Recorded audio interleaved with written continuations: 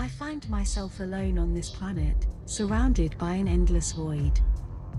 The world seems devoid of meaning, without beauty or harmony. But perhaps it is only my perception that is clouded, or perhaps it is my spirit that is dimmed by despondency. I look out the window and see only a grey and uniform landscape.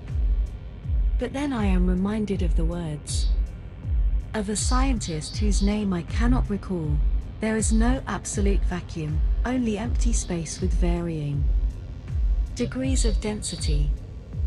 And perhaps it is true, perhaps there is still some form of life, even if hidden or latent.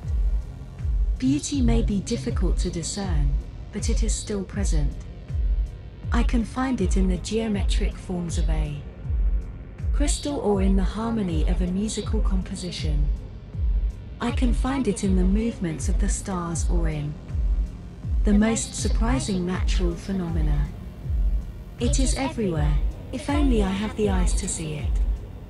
Although I feel alone, I know that there are other forms of consciousness, different from mine, that share this universe.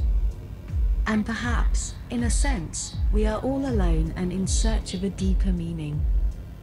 In summary, the world may seem empty and meaningless, but beauty is still present, hidden in every corner. Perhaps we just need to learn to see it with different eyes, to seek it where we would not expect to find it. And perhaps, in the end, beauty will be what unites us and helps us better understand our place in this endless universe.